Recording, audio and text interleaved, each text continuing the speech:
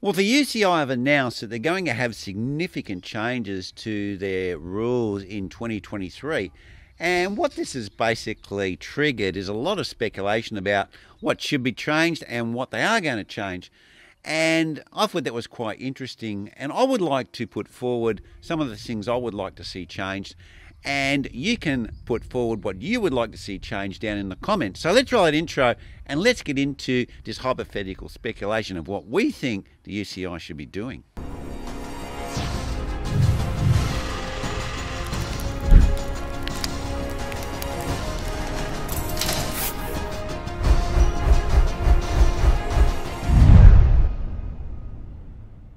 Now, the first thing that a lot of people like to talk about is the weight.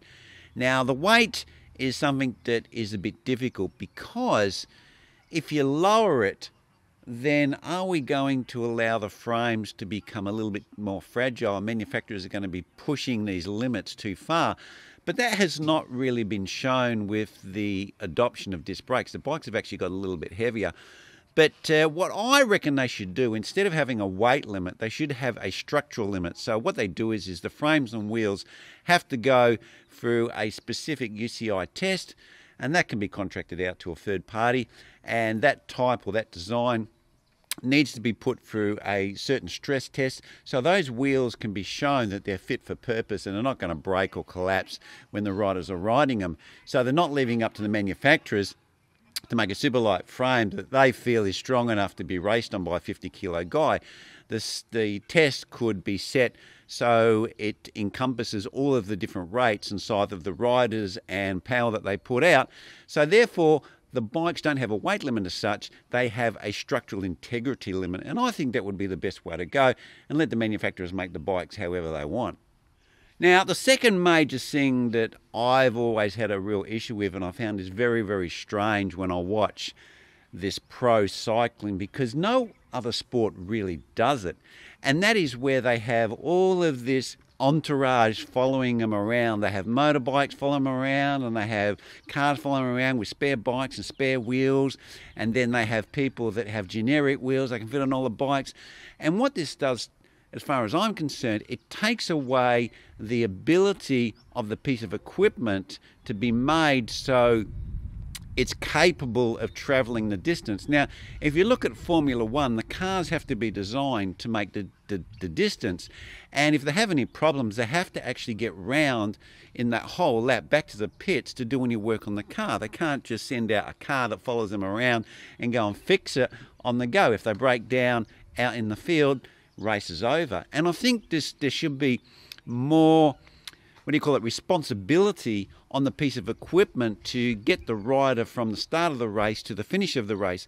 And this was also bring the reality of tires and equipment back to the user, which is like us. You know, yeah, you can you can ride these special tires that are super duper fragile and light because they can just swap the wheels and get a new wheel anytime. But how about making a wheel that if you get a flat, that's going to affect your race and you need to somehow change it. The rider has to change that tyre themselves or they have to have some system like a seal and pressurized system to get their bike going again. And what they could have is stations along the stages where those they need to get to those stages before then they can actually get a new piece of equipment so they can change out their wheel or whatever. And this would probably make the development of tyres and these inserts and everything a lot better because most people probably don't really care about them. But if they were part of the race at a pro level, it would make those components a lot more attractive to everyone and they'd be able to see how they perform at that level because if they get a flat and then they make it to the next station, they change the wheel, then that particular puncture protection device has aided in them staying in the race. And the other thing that this was also stop is where they have these cars and they have riders going back to the cars and they're getting bottles and they're getting food and then they're going back up and then they're being motor paced back onto the peloton. And we've seen this where bikes are basically touching the back of the car and they've got tire marks on the bumpers of the cars and they've got mechanics hanging out of their cars fixing the bikes as they're riding along. And they're chatting to the drivers and all this sort of stuff all that sort of carry on would be stopped. And we'd also, I would also make a rule where motorbikes and people filming need to stay a certain distance away from the riders because we've seen in the past where riders have taken advantage of partially drafting or going behind a motorbike to get some advantage or put off a rider behind them and potentially causing an accident or has caused an accident. And I think that all of these artificial people that involved with the race should not be in close proximity to the peloton. You may have a generic safety car that travels behind the peloton, and that's for safety reasons. So if someone's hurt, you can get emergency services to it, or that person can be taken in an ambulance very quickly. And the motorbikes need to be kept out of away from it. We've got drones, we've got all sorts of other technology to get cameras. And one thing that was suggested also by Cycling Tips is all of the bikes must carry some sort of transmitter camera on their bikes or they need to carry something that's equivalent to the weight of. So then it doesn't penalise any cyclist. So we're getting the footage from the riders, we're getting footage of them riding the bikes, and that'd be really good for us people who are viewing the race, but we're not penalising anyone for running that equipment because everyone has to either add that weight to their bike as a dummy camera or they have to run the camera with all the full connection so it can be a transmitter as well. Now I would like to have fuel stops. Now these fuel stops could be over quite a long distance of say a kilometre so there's no congestion when they come into the fuel stops so you could have different teams at say two or three hundred metres apart or they could have generic ones where they pick up water and food but I would like to keep them apart so there's no we have no problems with people crashing and slowing down. They peel off, they go to their little tent, and these tents could be at a minimum distance of, say, 10 k's apart, and they're the only places they can get food and drink. They can't. They can't get them and go back to a car at the back and whatever. So they need to plan their races a bit more. And at those stops, they can do significant things, like they can work on the bikes, they have all the parts, or we may even allow them to change the bikes. Although I'm not a big fan of doing that. I would like to see that the frames at least have to the frame that starts the race needs to finish the race. We can't just swap our bikes, and therefore that puts a lot of emphasis on the equipment being fit for purpose to finish the race. Because at the moment, we the customers buy products, and we go, oh yeah, the pros have used them and they've been proven, but they've been proven in an artificial environment, an environment where if something breaks, they've just got a team car, they can just change it. So the reliability or serviceability of that product really doesn't need to be that good because it doesn't it doesn't really have to last the full length of the race because if it breaks they can just change it. But if they had to rely on that piece of equipment to finish the race, like their tyres and their gears and everything like that, and their derailleurs and their systems, I mean, in any other type of race, especially a motorsport race, if something breaks in the car, that's your race is over. It's not. It's not like you can just give them another car. It's not allowed. It's just. It's just not. And the only thing, the only time I see that that's actually relaxed is if it's a team car. I know in the Formula One at some stage, I don't know if they still do it, but they used to allow them to swap the cars. Like if one car broke down, they could swap it with their teammate. And I think possibly that should be allowed, but apart from just giving them a new bike, no, they, the team has to make some sacrifice if they want to do that. And that's my thoughts on it. I think there should be a lot more focus on the equipment and how the equipment works and how the equipment helps the rider get across the line. The, the equipment is part of the race where it's not like a running race where it's just you with a, a cycling event. It's this bicycle and the rider and the bicycle needs to be fit for purpose to get that rider from the start to the finish without having to have this trail of cars and uh, motorbikes that follow them along to make sure if some of them breaks. Now I know there's the argument of yeah, but then it's not fair to the rider. But you've got to understand this is cycling. It's a rider bicycle combination. The bicycle is part of the instrument of getting the rider to the end from the start to the finish. And the bicycle should be able to do that. It should be reliable. And the tyres and wheels and everything like that should be capable of getting you from the start to the finish. And if you crash out, you crash out. that's, that's the way it is in any other sport, you know. Especially in motorsport. If you crash out, you crash out. They don't just come along and give you a new car and off you go again. And they go, oh, it's about the driver, it's not about the car. It is about the equipment, and the equipment needs to be fit for purpose. And that's my view on it. Now, with some of the other rules, which I call the auxiliary type rules, they have things like throwing, you know, a bidon, and also these handlebars that the that they're kind of being very strict on at the moment. Now, I do agree that the bike needs to be used as it's designed, so you shouldn't be sitting on the top tube. I do believe if the manufacturer's designed a seat and a handlebar, that those are the points you're supposed to be touching. They're the points you should be using. You shouldn't be sitting on the top tube. But I do believe that the handlebars should be allowed to be designed to allow the riders to get in a more aero position. Now, people might go, oh, yeah, well, TT bikes are dangerous. Well, let's not have full TT bars, but what we could do is, is allow the handlebars to allow them to rest it on, but have the handlebars designed to do that and relax the rules a bit. Because I think that if the guys can get into a more aero position, it aids them if they have breakaways and we can have more exciting racing. And remember, these are the best riders in the world. They should be able to handle a bike and they should be able to handle a TT bike and they should be able to handle a bike that's got a narrower handlebar set. They riding these bikes like virtually daily. They train on them. They do thousands, tens of thousands of kilometres on them, and they should be able to ride them proficiently. And it's not like just you and me who go, oh, it's now a handlebar and we can't handle a bike properly these are pros and they're getting paid a lot of money to to do what they do. And I think that they should relax. I don't. I think the frame designs and the the rules around limiting the aerodynamics of the bikes should be relaxed significantly.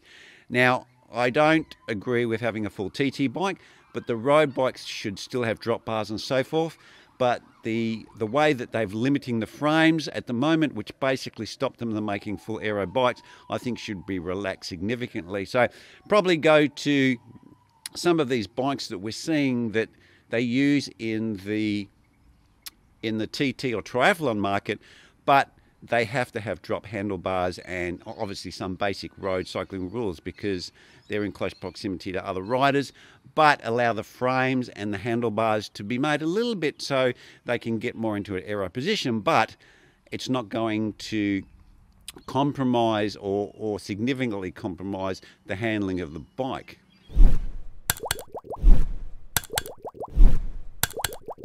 Now, one rule that is always seems to be broken as far as I can see. I haven't really researched it that much, but it does seem to me that this rule seems to be ignored considerably, and that's new components in the Pro Peloton.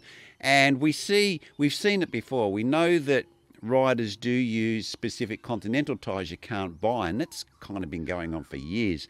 And we know that SRAM used their ETAP a lot longer than I think the 12 months that they're allowed to use it before they release it. And these products really just break the rules, and there kinds to be very little consequence to the manufacturers, so they just keep doing it. It's no biggie. But I think the consequences should be significant, or they should limit the use of them until they're actually released. So they can only be used, say, in 20% of races. You can't use them in all the races. Or if they breach the rule, then they aren't allowed to use their products or their subsidiary products for a three month period on any of their bikes. Something pretty harsh because, you know, to me, the equipment is supposed to be able to be bought by the average person like me and you out there. And they're really conning us in this market. And are they really the same products that really come out on the market? And I think the UCI needs to clamp down on this.